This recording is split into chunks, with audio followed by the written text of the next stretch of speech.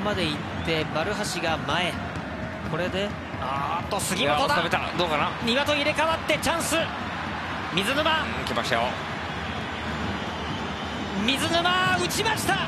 清武だワンチャ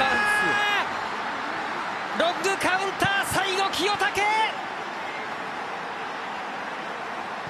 先制したのはセレッソ大阪水沼が抜けて最後は清武です。スいやその前のね杉本選手がそこ収めましたよね。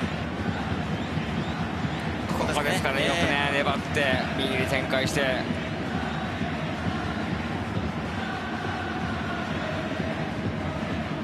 クロスは当たったんですが、みそのボールが最終的には清武のところに来ました。クロスはシュートか。はい、まあ難しいと思いますけど相手にはね室谷選手に少し当たってはいますけど、はい、こ